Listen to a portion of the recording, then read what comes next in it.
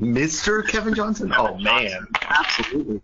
It's funny, Jonathan, Kevin, and myself, we all kind of started at the SANS Institute as instructors at the exact same time and kind of came up together and really look at these guys as, as kind of brothers in arms in that kind of weird cauldron of strangeness because it is weird and all people that you can talk to and be like, hey, this really strange thing happened to me with international flights. Is that the way it works for you? It's like, yeah, that's the way it works. Yeah.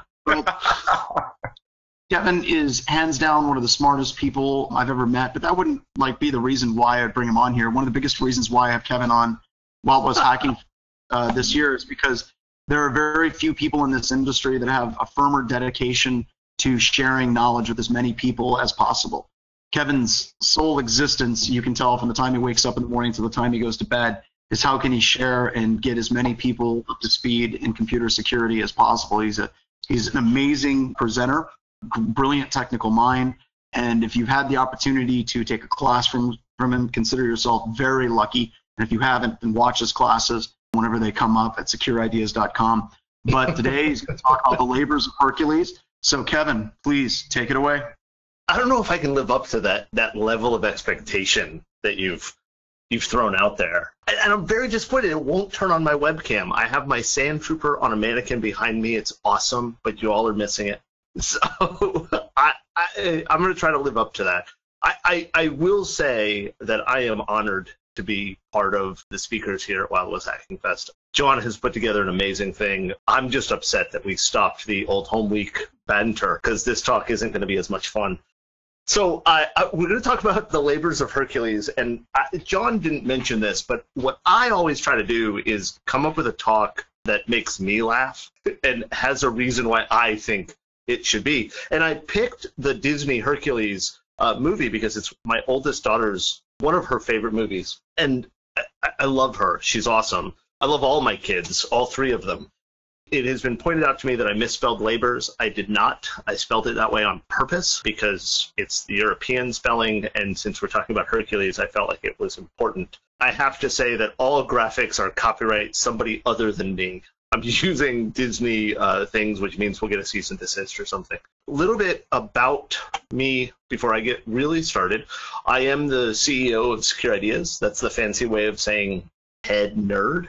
I'm an IANS faculty member. I am a course author and instructor. And, and John is right about, I don't know if I'm as dedicated as he said I am, but I do believe that our purpose in life is to grow the next group of people to do what we want to do. And if we're not sharing our knowledge, we're dying. And I don't want to die. You can follow me on Twitter. I do a bunch of things. I open source fanatic. I'm I'm the one of the creators of Samurai WTF, PWAP 101, which is a a six day web pen testing course that's completely open source and free. It's out on GitHub. I am also uh, a, a, dad. I've got three kids, two daughters and a son. That's me in the Vader costume and the clone trooper. I am a member of the 501st. That is actually the thing outside of my family that I am probably the proudest of.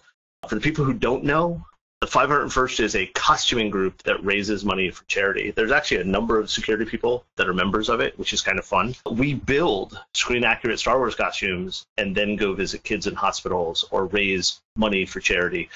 I believe the figure for 2019 was like $17 million worldwide raised, but I don't know. So that's what we do. My wife says it's the nerdiest thing ever. I pointed out that she met me when I was 26, so she doesn't know what was the nerdiest thing ever couple other things. One, I am full of tangents. I'm full of lots of things, and my eyes are brown. And two, I have a sense of humor.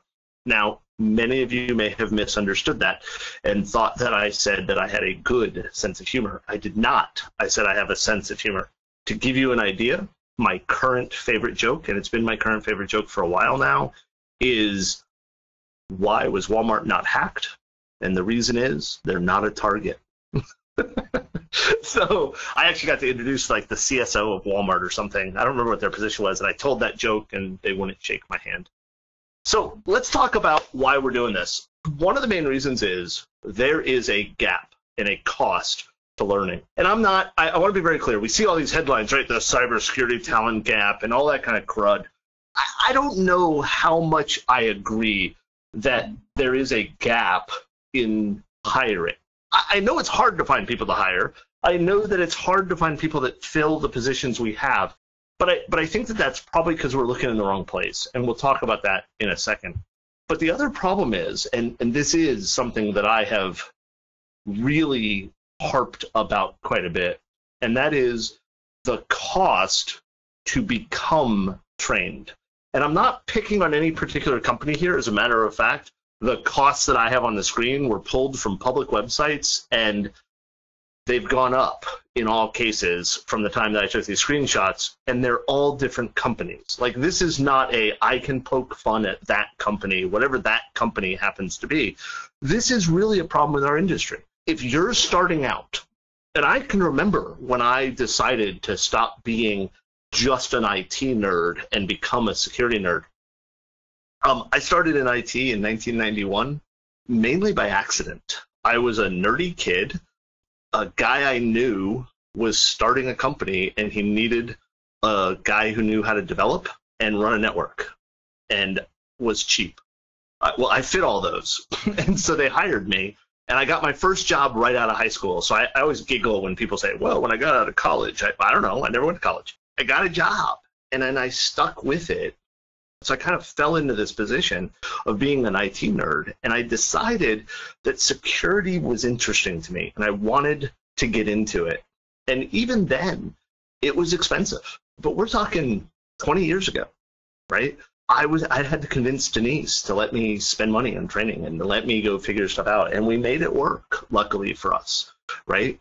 But I look at it now, and and and now as a business owner, you know, I've got 19 employees, and they come to me and say, "Hey, I want a class," and I say, "Well, how much is the class?" And they say, "Well, it's six thousand dollars or seven thousand dollars," and I'm like, "What? I can't afford that." I, I and they can't. When we look at the training costs, and I'm not, I, I want to be very clear. If people want to spend that much, great, good for them. If people want to charge that much, if they think it's worth it, good for them. I'm a greedy capitalist. I'm perfectly willing to let people charge whatever they want to charge for whatever they want to offer. And if people are willing to pay it, good for them. But I think that we have a problem. And I think that the problem is that we aren't teaching enough people. We aren't reaching out to enough people to have these skills and get them to understand what they need to do. And then we also have a problem of what do we teach? I think that the biggest problem there is that people don't know the path. And yes, that is an operating system pun, but I like it. so we talk to people, and, and as somebody, you know, John mentioned it earlier. I present all over the place. I teach all over the place. I'm constantly going out to customers' locations, and I'm I'm I'm the face of the company, which is really a bad choice because I'm funny looking. But we we go out, and I am constantly being asked by people, I've got schools that say to me, "How do we teach our kids?" And and they're like, "Well, I want to be you. I want to do what you do. How do I get there?" And I think that a lot of people think that there's just this I can wake up in the morning, I finished high school or I finished college, and I'm now a penetration tester. But they don't really know what they're doing. And they don't know how to get there and how to improve and where to focus we see very often like well where do i practice? I, I want to learn this but i don't know what to do. Or the number of times i've seen people say like on twitter hey just go join a bug bounty program and practice there. And i cringe. And that's not even a problem with bug bounties. Like i we can talk about bug bounties offline or somewhere else if you want but that's not even a i don't like bug bounties. It's a if you were a company offering a bug bounty, did you really want to get the people who don't know what they're doing and are practicing? No. That should not be our advice. We should be giving people who are learning practice areas and, and places to go to learn more and and whatever, right? On top of that, if you're the person learning or the person teaching, how do you know you're getting the correct information? I, I uh, one of my favorite videos, and and and I'm going to be really boring, so you might as well go watch it now. But but go out to YouTube and, and do a search for Next Gen Hacker 101. this kid, and I say kid, I don't know who this person is, and I and I, I and I want to be very clear. I'm not making fun of them, but this video is where they walk you through and show you how to see the IP addresses of everybody else that's visiting a website right now. And you watch this video, and the kid goes through this explanation of how to use, and I'm going to pronounce it the way he pronounced it, Tracer T, which many people on this webcast probably caught that. It's trace route. And this kid is doing a trace route from, from it sounds like a him, his machine to google.com. And every single one of the hops it takes, he claims is an IP address of somebody else visiting google.com right this second. And he starts describing and he goes into this detail. And let's be very clear it could be the ultimate troll. I don't know. But this kid has put a lot of thought and explanation into what he sees on the screen. And he talks about how the timing, right, the, the 15 millisecond, the whatever, that that is telling you how fast the person's speed that they their internet connection is. And and he talks about how you, you know that that's their username and that well, no it host like it's just every bit of information in this video is wrong right? And and I'm a Star Wars fan, so you know it's it's it's like Luke says, right? Everything you just said is wrong. But he was so positive and so sure of himself. And and I want to be clear, I admire that. Like I'm not I'm following Tim's advice, right? I'm not blasting this kid.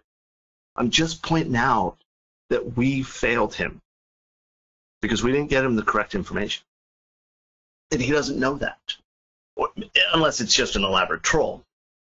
But I know people who have watched his video and thought it was real, thought that was the right information. How do we verify this? And I'm not even going to get into Facebook and Russian trolls and fake news and all that kind of stuff, right? But if we can't even get the right information about politics, how do we expect to get the right information on technology out to people? And are we teaching ethics? And I know that's a touchy subject subject for a lot of people. But are we teaching ethics? Are we teaching the right ethics? Are we teaching people when they should and shouldn't do what we do? Because let's be blunt. What I do for a living, day in and day out, is against the law, except for the fact I have a contract, except for the fact I have permission. And what does that mean? Right? How do we how do we know what we're allowed to do? I, I, just had a conversation with a really, really good friend of mine, one of one of my best friends yesterday, one a guy I think is one of my best friends, and he asked me about a company that is just scanning the internet, and it talks about well this problem and that, and and Giovanni was like, hey, well, how does how do they get permission for this? And and he was double checking because in his opinion, correctly so, they didn't have permission. So what they were doing wasn't ethical. And I, I happen to agree with that idea, so that's what I said to him. Like, yeah, no, that's that's wrong. But here's a company who's offering a service of we scan random other sites and tell you about their vulnerabilities, right? And I'm not going to throw them under the bus, right? Even though I'd like to. So how do we teach all this? So in my mind, what we have to build, what we need to focus is we have to stop thinking about information security as magic.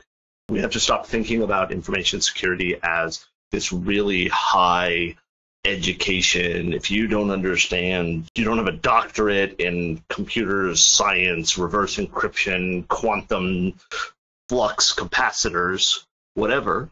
What we really need to start thinking about this is that we're really just a trade. And I'm not trying to demean anything. I'm proud of being a tradesman. I'm proud of being somebody who is uh, an internet plumber, right? And I think that we need to start thinking about things on a path, just like a tradesperson does. And and you know the the traditional historic apprentice journeyman mentor. And and please note that mentor is the last class. And there's two reasons. I, and I know many of you probably know the term master. I don't want to use that and then there's two reasons I don't want to use it. And one, I, think it's pretty obvious. there are negative connotations. Whether you agree with them or not, or you understand why people find them negative, they are there. And we have to recognize that. And in my opinion, just as importantly, well, maybe not just as importantly, but importantly, we also have to make sure that the person who has made it to that level understands that their job is to mentor everybody else. And honestly, all three levels should be mentored right? If you started out, you're entry level, you're an apprentice, and there is a set of things that you should learn and know how to do. And and so when I look at, and as we'll talk about in the next couple slides, we're going to talk about building mentor programs and how to build this up and, and create these programs. But when I run a mentor program, I look at the people who are just coming in as apprentices that they're they're entry level. They may know tons of stuff, and we may find out within a week of having them in the mentor program, or a day of or a minute of having them in the mentor program, that really they should be a mentor themselves, or they should be a journeyman, or whatever, right? But but the reality is, when they start, we think of them as an apprentice, and the reason we think of them as an apprentice is because we want to hold them up to a set of skills a knowledge base, a knowledge level that they should have to start. And and I really like pulling people into these programs from a variety of backgrounds. I like pulling people from help desks or pulling people from QA teams or even project management teams and non-technical teams to bring them in to these mentor programs, even if their goal is not to become a super badass pen tester, but so that they can understand and so that they can grasp because we want everybody to understand security because security is everybody's responsibility, right? So we bring them in as an apprentice and we start showing them stuff. We start working with them. And this is bi-directional. We want to take stuff from them too. We want to learn from them because let's be very clear, being a mentor is not the end. It really is just the beginning. So we start to talk and we start to discuss things. We start to teach them and show them and guide them. And that last part, I believe, is critical to understand. Our job is to guide, not direct. We don't force them down a path. We guide them where they need to go. We guide them where they can get the best knowledge and understanding. And then, as they're doing this for a while, as they learn, as they explore, as we support them, they become a journeyman. At this point, they're really competent. Maybe they're excellent at some things, but they they at least have a level of competency. And what I like to think of is uh, using my company as the example, right? What we do is we consider somebody who's a journeyman, somebody who is ready to lead a project they're not just a tester, but they actually are the ones that are interacting with the customer and, and kicking the project off and, and scoping projects and selling project right? They're they're capable of we know that they are good at what they do and they understand more than just somebody who's like oh yeah i know how to pen test. They know how to be a consultant. Now that's a secure ideas journeyman in your organization because you should be building these programs in your own organization, in your own groups, in your own whatever. Uh, th- that level of competency may mean a different description. And that's why I say it as vaguely as I can on the slide. But there's somebody who's competent at the job we're bringing them into. And then as they continue to grow, because mentoring doesn't stop. I think back and uh, you have these random thoughts, right? I think back to Richard Stallman's rider, if you bring him in to speak. And, and let's be very clear, uh, based on his rider, I've never met Richard Stallman, but based on his rider, he's a nut job. And I mean that as nicely as possible. But, you know, one of the things he wants, if you bring him in to speak, is a parrot. That, that he'd like to stay at somebody's house and he hopes they have a parrot. But he, he says to them, don't go out and get a parrot because parrots can live like 70 years or something, right? They, they live very long periods of time. And, and like if I bought a parrot at my age and the parrot was young, because while it's not my birthday today, it was my birthday a few weeks ago, and I turned 47. If a parrot can live 60 years, it is unlikely that I am going to outlive that parrot. a parrot is a big responsibility. Being a mentor is a big responsibility You're constantly working with them. So as they get to a point where they're a journeyman, as they've grown into a competent worker, right? Your job now is to continue to guide them, to continue to provide that support and knowledge and understanding so that they can grow into being a mentor of their own, because that is our goal. As I said at the very beginning, as John used to describe me, which I still don't understand the accolades, but okay, I'll accept them today. But what our job is, is to get to that mentor capability is to get to the ability to pass on the skills we have. Just recently, okay, a week before my birthday, I decided that I needed a hobby that didn't involve computers. Because I'm a nerd. I've been a nerd for so long that the guy who used to steal my lunch money still takes it on a regular basis. And he makes a good Subway sandwich. But I decided I needed a hobby that didn't involve computers. And I've been fascinated by wood lathes, you know, where they turn the wood and they use the gouge to, to carve it into a shape, make cups or bowls or pens or tops or random shapes that fly all over the garage. Not that I know, speaking from experience. And I bought a lathe. But before I bought the lathe, that was my birthday gift. Before I bought the lathe, I started watching YouTube videos. And I started watching people who were sharing the craft, the art of wood turning. Just like we should be sharing the art of penetration testing or information security or IT or project management or whatever we do. And I was just struck by how much so many of these people in these videos just wanted to share what they were doing. One comes to mind immediately. Steve Ramsey was his name, and he's the woodworker for mere mortal woodworking for mere mortals is his channel and i'm not pimping his channel. I mean i am. He's awesome. And and he just wants to show you how to do woodworking. And there's other people that do the same thing right? Like here's how you do this turret lathe. And I, I i was just so impressed by their passion of sharing. And i hope that that people recognize my passion for sharing and that you should have the same passion so let's talk about some of the rules. Now, Phil is the trainer in Hercules. See, there is a, a, relevance to the Hercules reference. When Hercules needed to become Hercules, at least in the Disney movie, he needed a trainer, and he got Phil. I'm not going to try to pronounce Phil's real name, full name. And he has a set of rules. And let's be clear, in the movie, he has like a hundred rules or something. I've only pulled some of them as relevant to what we're talking about because most of the rules were jokes for the movie. And then I, I put some of these relevance here, right? And then I highlighted some of them that I think are important. I think they're all important. We need to learn from our mistakes. But I think rule number one is probably very critical for us to understand. And that is, is that everybody needs a hero or a mentor. Because in my mind, the hero is the mentor. Right? That's what you become. You get to the point of you're a hero, and then you become the mentor. Everybody needs one. We all stand on the shoulders of giants. I am only where I am today because of the people who lifted me up. And I hope and pray and, and worry that I'm not lifting up enough people. That that I want to be the shoulders somebody else is standing on. But we all need that hero. Every single one of us we also need to remember that we shouldn't get cocky. And I think that that number 13 on here is the same thing, right? Don't stop for applause.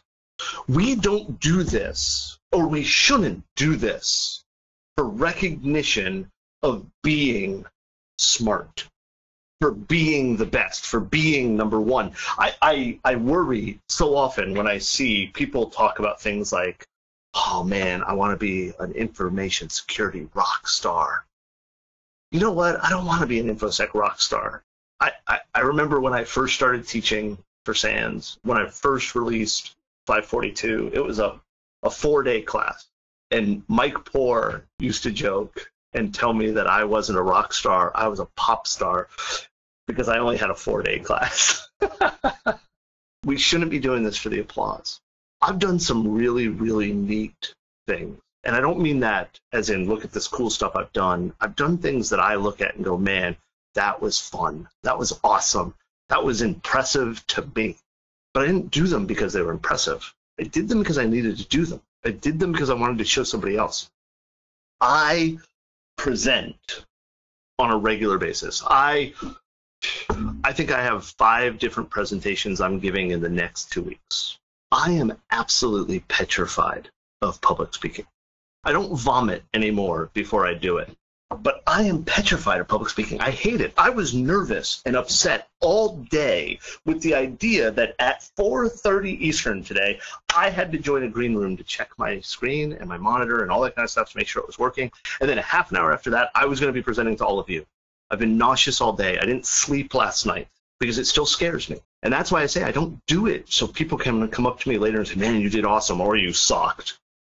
I did it because I think it's important for us to share. Now, a couple other things to point out. One, play by the rules. If we don't follow the rules, then we're no better than the people we're trying to stop. We're no better than the people we're trying to protect against. So play by them. One of the things I like here is the greater your agility, the greater your ability. And I, I, I like that because way too often we get people who want to focus on one thing. I'm going to learn this one thing and I'm going to be amazing at it. But if you don't know all the things that support it, everything that is part of it, that you're not going to be as good as you need to be. And as you're trying to guide other people, you're going to have problems. And then finally, we need to aim. This is a hard one. I'm not a list person. I'm not a person who says, this is what I need to do, and here's all the steps that I'm going to follow. If you followed Tim's Twitter thread yesterday, I, I threw in an example of a story, and, and I sadly didn't make all of Tim's talks. So I don't know if you mentioned it, of when Matt Carpenter and I were doing a pen test. And Matt follows a process. Matt aims amazingly well. Matt Carpenter is a person that I am blessed to know, privileged to call friend. And he follows a process. And you know what? I don't. I should. We did a pen test together and I got root access to the system 10 minutes into the, the, the test. And it was funny because Matt complained to Ed, our boss, that he didn't think it was fair. I didn't follow the process. He was following the methodology, and I got root. And and I'm I'm paraphrasing and making it sound way more blah than it really was. The reality is that I got root in 10 minutes, but Matt did a better job. Matt produced better results. Matt produced a better test than I did. And it's the same thing when we try to teach other people. If I just stand up and say, I'm going to teach you information security, you're going to fail to learn it, and I'm going to fail to teach it because we haven't aimed correctly. We haven't realized what we need to get to. Now, having said that, you have to be a little careful because when I started that journey to become a security person. I actually built a list. I sat down and I wrote 10, I think it was 10 things that I needed to learn. And like I said in the previous presentation when I hijacked it, I wanted to be Mike Poor. I wanted to be like Mike. I, that's probably trademarked or something, right? And so I sat down and I wrote down 10 things that I believed I needed to learn to be Mike. And I focused on the first one and I learned it. And I crossed it off the list and I realized that I had a list of 23 things I needed to learn. Because when I was learning that one thing, I learned a bunch of other things I didn't know that I needed to know, but I still needed to know. And so I learned the next one. And I had a list of 75 things I needed to learn. And then 100, and then 1,000, and a million.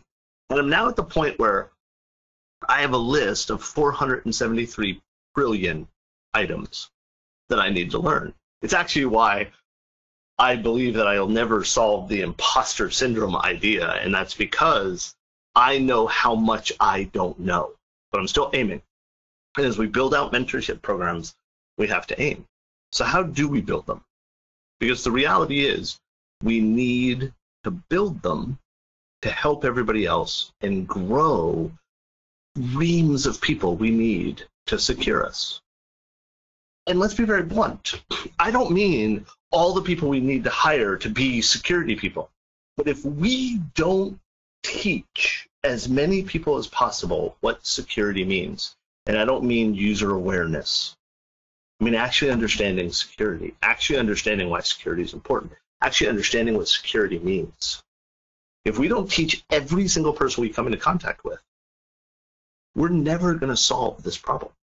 And I know we're probably not going to solve the problem because it's just going to keep changing. But we can make it better. And to make it better, we have to mentor other people. Now, I want to be very clear. I don't like doing sales pitches.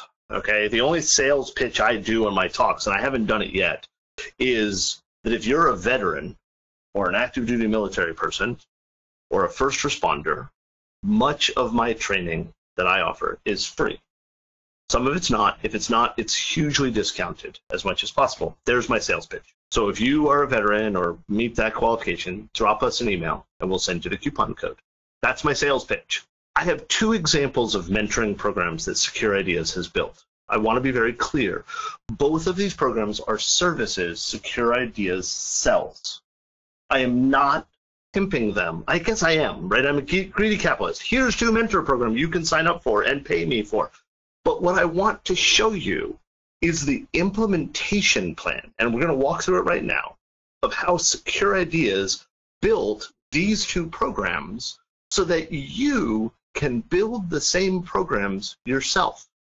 I want to give you enough information that you don't have to pay me because I've talked about this many times. I joke and say that my goal as a business owner is to be protested by the Occupy movement.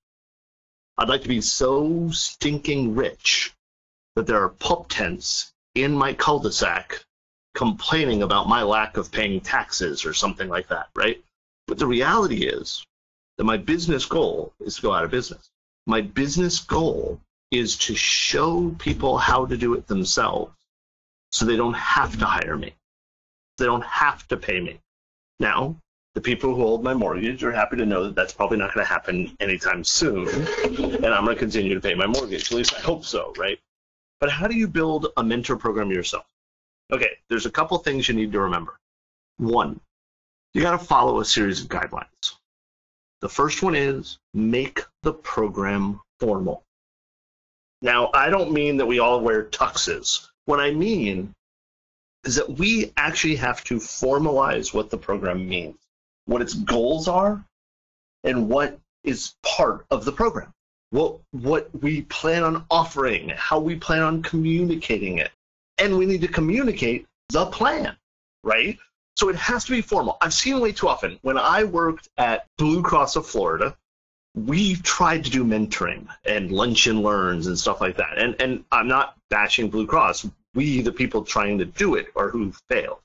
And the reason we failed was it was kind of this, ah, we'll just do that when we can right? How about we meet during lunch? When? I don't know. When are you available?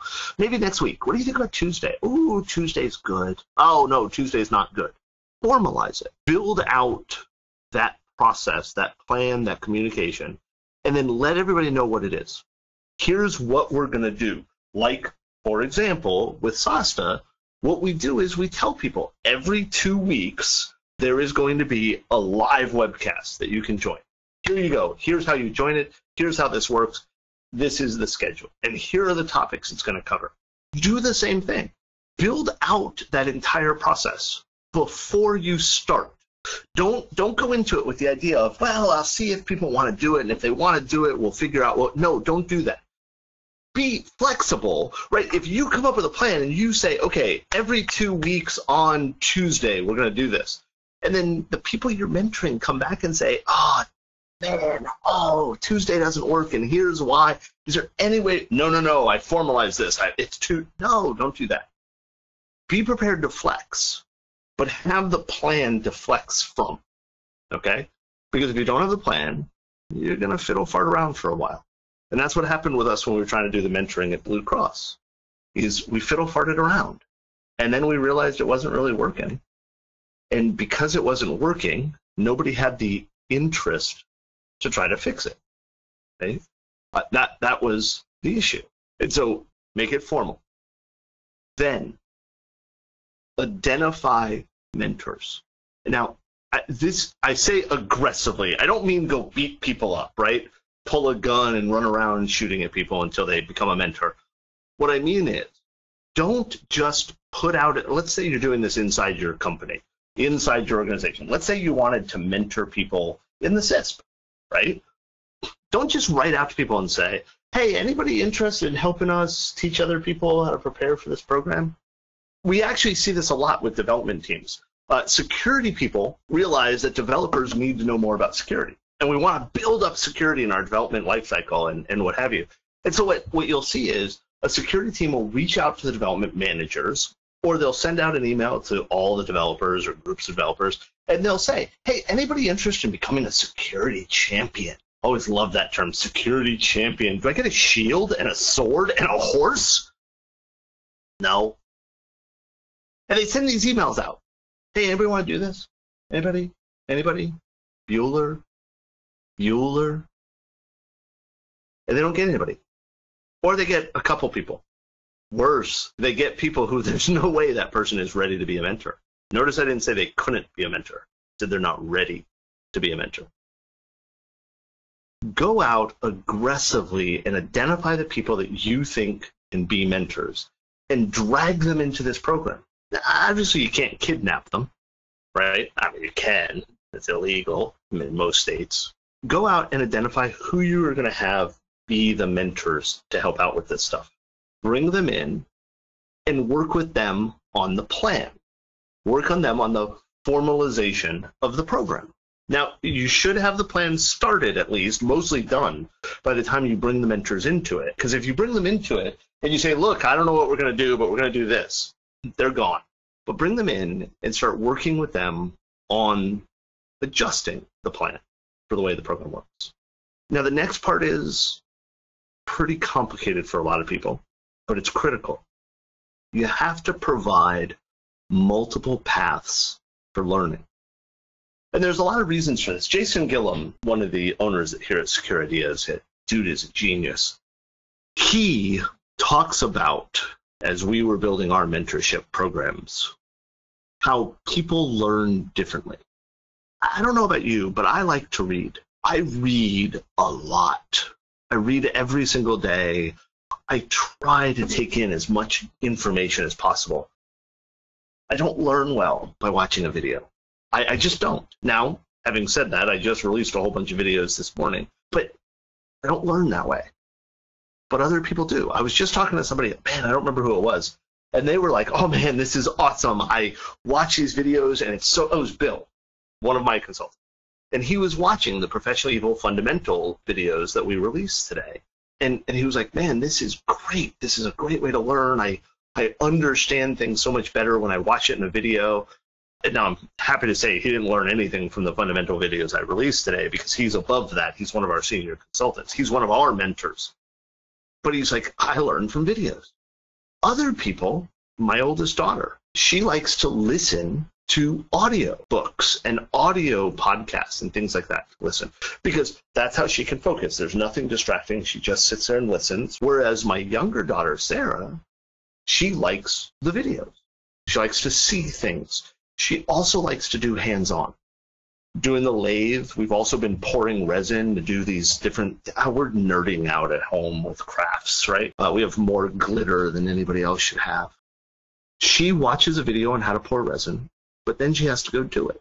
And until she does it, until she actually sits down with the TotalBoat and combines the hardener with the, the resin and stirs it up with the, the the powdered coloring and then pour it into the mold and wait for its hold time. And I'm probably using terms that don't matter in this context, but you know, the resin that we're using has a pot time and then a cure time.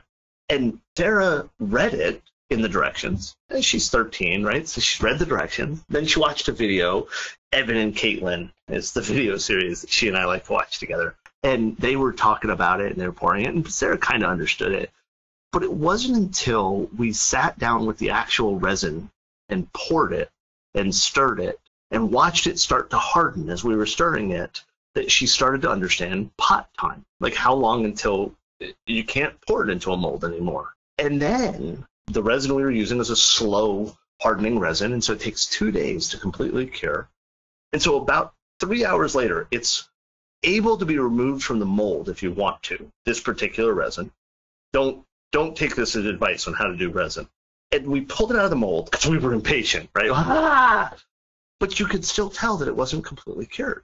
And it wasn't until she held it in her hand and did it that she really understood the difference between pot time and cure time and what that meant in doing this process. And I find that quite often with people learning how to pen test. Until you dump a database, do you really understand SQL injection? Till you change the price on a website, do you really understand logic flaws? So there's multiple paths that you have to take into account in your mentoring. And then you also want to think about different communication paths. That's part of that paths to learning, right? And what we like to do is, you know, you've got some books or written materials, slides, you've got recordings of audio and vi- video teaching you how to kind of do stuff. And then you have, I say chat rooms, right? But like we run Slack workspaces where you can sit in the Slack workspace and talk to other students and mentor mentees, I guess is the right word.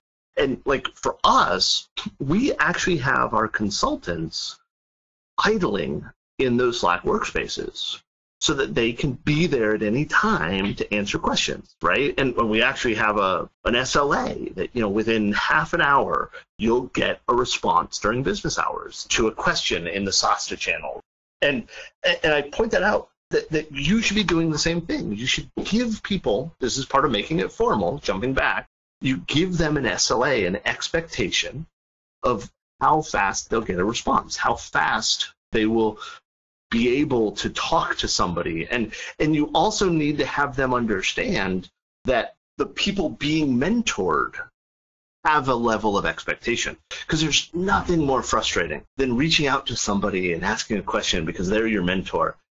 And and and, and let's be clear it's they're busy right? They have jobs they have lives they have families whatever they have hobbies. But you ask a question and it doesn't matter how unimportant that question may seem to somebody else. To you, it's critical. To your mentee, or whatever that word is, right? It's critical. They have to have something. So having an expectation of response is important in your program. And communicating that expectation so that people know. And I'll, and I'll pick on SASTA, right? I don't know about you, but I have no work-life balance. And so it is very often that at two in the morning, I'm sitting on my computer working, hence the reason I needed a wood lathe. And somebody will throw a question into the SASTA channels, and I'll answer it because I'm sitting there. But we try to make it very clear that if they get that answer at two in the morning, that's a one-off. We're trying to help because we're there, but but the expectation is that they'll we'll be there during business hours. We'll be working with them at that time. And then finally, as you build out this program, you have to ensure that people are engaged. That's a typo. It should say engaged. Reach out to the people that are in the program, all of the people in the program, the people attending, the people mentoring, the people, and, and this should be a group thing, but make sure that you reach out to people and, and are you understanding? Are you following? Are you doing this? Are you, like, we, we give assignments. Like, if you go through our SIS mentorship program, you get an assignment every single week of stuff that you're supposed to read and quizzes you're supposed to take and practice exams that you should be following up on. And we reach out to students and attendees and mentees, whatever you want to call them. Hey, are you reading it? Are you getting this? Are you following this? Is this making sense? And we try to engage them. And there's a number of reasons for that. One, it's important because people will feel like ah, I don't want to bother them. No, bother us. Let me manage my own time. People also they get stuck. And a lot of times, I don't know about you, but I've done it, right? Where I've I've gotten stuck on something and the next thing I realize is it's been 3 days and I haven't solved my problem. And it's because I was stuck. But if my mentor had reached out in that three day period and said, Kevin, how you do? I would have immediately said, Oh, I'm having a problem with this. The other thing that you need to make sure that when you reach out to them is that you are accepting feedback and paying attention to the subtle, unspoken feedback of how well you are mentoring. Because if you reach out to one of your mentors, one of the people you're mentoring, I mean, and they comment that they haven't heard from you in a couple weeks, they're not trying to be mean. It's just that, hey, man, it's great to hear from you. I hadn't heard from you in a couple weeks. You're failing. You've messed up in your program you need to make sure that you're paying attention. And if they ask you a question, one of the things I hear, I'll, I'll explain something. In mentoring students, whatever, you hear this, you'll say, hey, okay, this, they'll ask you a question, you'll explain the question, and, and how often do you hear an instructor say, make sense? You got it? Does that work? Yeah, yeah, yeah, you, you with me? And the only right answer there is yes. Of course I got it. Now that's not true. That's not the only right answer. As the person mentoring, as the instructor, what you need to listen for is the person going, yeah, yeah, yeah, it's okay. I got it. No, you probably don't. Let's talk a little bit more. You don't want to bother me. You feel dumb. We all feel dumb. I can't tell, tell you the number of times I've had somebody teaching me something and I've just not gotten it. And I've felt stupid asking them to repeat it again and again and again. As the mentor, if you engage people, if you reach out to them, you'll know they're having that problem. That's our goal. And like I said, Secure Ideas, we've implemented two programs of mentorship that we believe are very successful. The feedback we've gotten from people are very successful. We're building more. And I'm not saying that like, oh, hey, look at these great programs, buy them. Please, look at these great programs, buy them. It's the way I make payroll. But you can build them yourself. Our entire responsibility is to be like Phil. And I don't mean gruff and a drunk. I mean mentoring the next series of heroes, being the shoulders people can stand on. Thank you. And now I'll open it up to questions. I am not in, I just realized I'm not in the Discord channel. So I'm going to let whoever is the person in the Discord channel repeat the questions to me. Oh, that would be. Problem is, we get all of these different things that pop up. Got a question for you. Okay. Um, this is from, I'm going to just call him Swagner because that sounds cooler spent the better part of the past two years establishing Club My College that provides a lab environment to learn blue and red team options. Any tips or resources for building an introductory mentorship program? Most of the time, we have new members come in and tend to get overwhelmed. With the concepts Our more seasoned members are engaging. So I think it's like that wave thing where the people that are at the earlier part, they get yep. in, they start doing amazing stuff, and then people that come in get a little bit intimidated. Yeah, so there's two things I'd recommend doing it. One, and we just started it this morning, we released our professionally evil fundamentals and it's a youtube playlist as dumb as that is and they are two to four minute videos that are just definitions and we're we're we've got like 21 of them recorded now and they're being published two at a time three at a time over the next few weeks but but the goal there is and you can do the same thing is start documenting and recording whether it's a video or just writing it down that introductory stuff so that as somebody comes in, they've got a place they can go to get it. That's that's the first recommendation. The way John described it, it's right. You have these waves of people that come in and, and they come in and then two weeks later there's a new group, but the old group is still pushing forward. The second recommendation, and, and I'm going to pick on my CISSP mentorship program because it's how we do that. If you were to sign up and, and feel like I'm sales pitching and I'm not, if you were to sign up for the SIS mentor program, it's a nine week program. It has a definite calendar. It has a start and a stop. And you pay for it. Paying for it that one time, you then get to take the mentorship program as many times as you want. Because our goal with all mentoring is not just to prep somebody for that test, but to prep people for understanding of the knowledge, right? And and learning. And so what we do, and we've actually seen it, it's been beautiful in the CISSP program is that what you have is we have a nine week program. People take it, they learn, they engage, they talk, they build relationships, and they finish the mentor program. And then we take about a month. We do it a month because we're billable consultants. And then we launch another mentor program. And everybody who is in the other one can sign up for the new one. And then we have new students come in. And what we find is that one, the experienced mentees, I don't, I don't know if that's really the word, but they start exploring more, we start getting more complicated discussions going and deeper dives into the theoretical and this and that, which is awesome, right? And fun. And also probably overwhelming to the new people. But the new people are being presented the stuff in that same calendar moving forward. They, there's that program and everything else, and but they're also getting exposed to the the more advanced stuff. But what I'm seeing, and this is the beautiful part in my mind, we're seeing the people who have taken the mentor program before becoming mentors themselves.